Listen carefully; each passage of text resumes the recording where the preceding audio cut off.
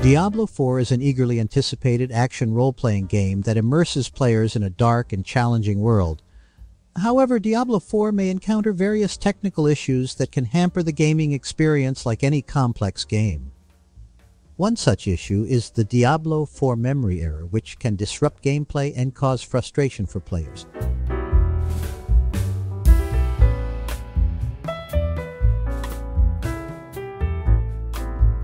By the way, please like and share our videos to help those who has the same issue so that we can help them too. Once you're done, let's begin.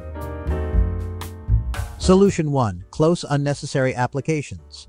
Closing unnecessary applications frees up system resources and ensures that Diablo 4 has sufficient memory to run smoothly. Running multiple resource-intensive applications simultaneously can lead to memory errors and other performance issues.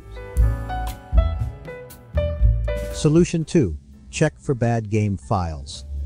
If you're playing Diablo 4 on a PC, verifying the integrity of game files ensures that all necessary files for Diablo 4 are complete and undamaged. Corrupted or missing game files can lead to memory errors and other issues during gameplay. Solution 3. Update graphics drivers.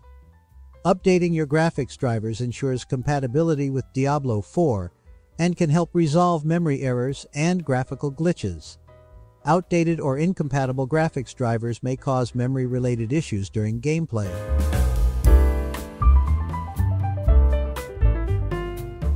Solution 4. Adjust virtual memory settings. Adjusting virtual memory settings can help allocate additional memory resources to Diablo 4, preventing memory errors, incorrect or inadequate. Virtual memory settings can lead to memory-related issues during gameplay. Here's how.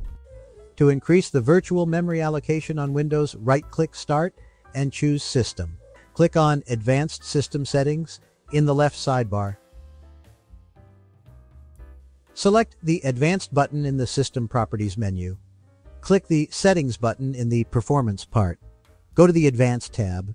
Click the Change button under the Virtual Memory section make sure that remove the checkmark for automatically manage paging file size for all drives. Select your system drive and select the custom size option.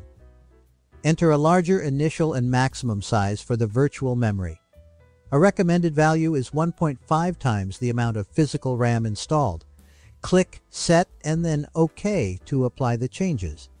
Restart your computer for the new virtual memory settings to take effect. That's it. If you think that this video is helpful, we would appreciate it. If you can leave a like or comment, subscribe to our channel or share it to your friends. This can greatly help in making Google's algorithm can find and recommend this to others.